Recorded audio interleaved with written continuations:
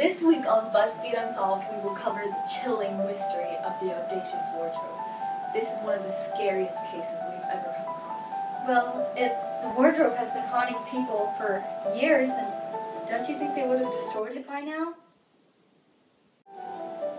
In 1783, a man woke to the sound of his wardrobe telling him just how ugly he was. Mr. Shackelford said, and I quote, It was the most horrific thing I'd ever heard.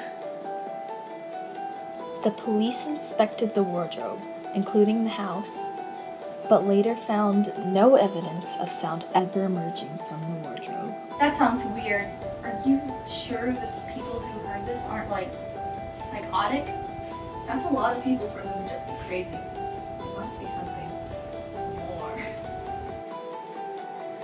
The wardrobe was later passed on to an antique shop and then bought by a woman by the name of Sylvia Rodriguez.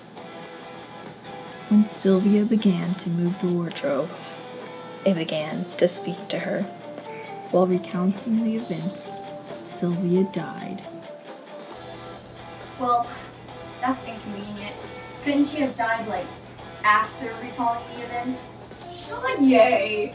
This woman might haunt you in your sleep if you're not careful. Yeah, right.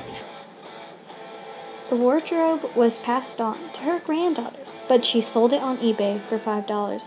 A woman by the name of Heather Smith later bought this wardrobe and put it in her new home.